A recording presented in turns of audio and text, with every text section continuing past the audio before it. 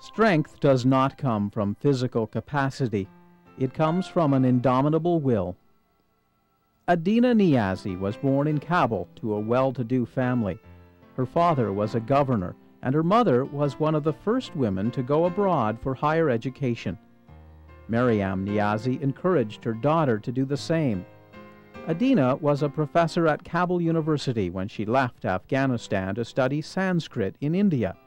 She never saw her father or mother again.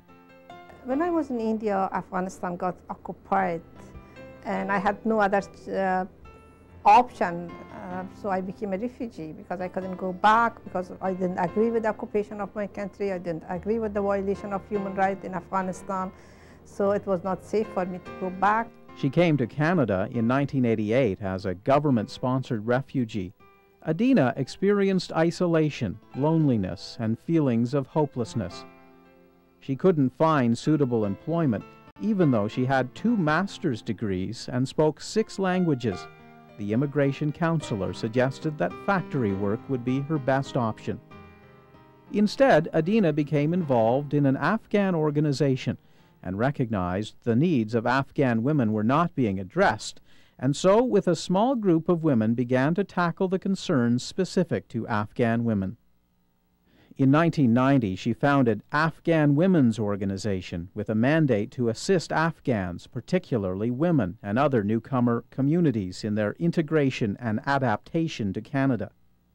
As executive director, Adeena spearheaded the expansion of the organization to include community economic development programs, employment training, and a youth and seniors program.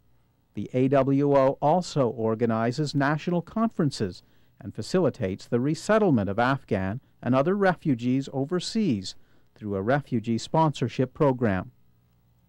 At the moment, we have four locations here.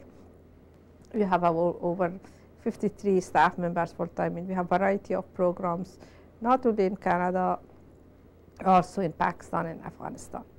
Adeena has established underground schools and income generating projects in Kabul and refugee camps in northern Pakistan. She's done all she could in order to promote the cause of the Afghan women and the larger community. Um, and it, has been wonderful uh, working with her. I, have admired her for her um, uh, dedication and um, truthfulness, dedication, and the amount of uh, work that she has done uh, for the community. A community leader, an inspiration, and positive role model, Adeena currently sits on the board of the Canadian Centre for Victims of Torture, the NGO Government Joint Committee on Private Sponsorship, Board of Partnership Afghanistan Canadian Advisory of Women's Rights in Afghanistan Project, and the Canadian Coalition in Support of Afghan Women. She continues to be invited to policy consultations on human rights situations in Afghanistan by government departments. I always continue doing work in the community because the, there is always need because the people coming here they have the talent, they have the ability, they have the commitment, they want to stand on their feet, they want to be a contributor in the society, but all they need, they need support, motivation, and some resources.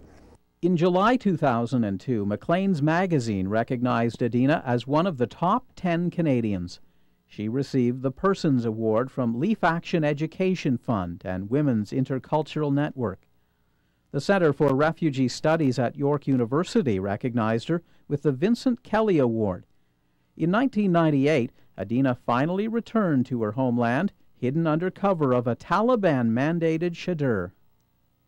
She was one of two representatives from Canada selected to participate in the Loya Jirga, the Grand Assembly, to elect the new government after the Taliban rule.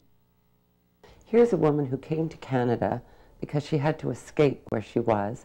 She made a life for herself here, but it was a life devoted to the people in her community who were in need. And on top of that, she goes back to the country and seeks out the needs, particularly of the girls and women. The woman doesn't stop.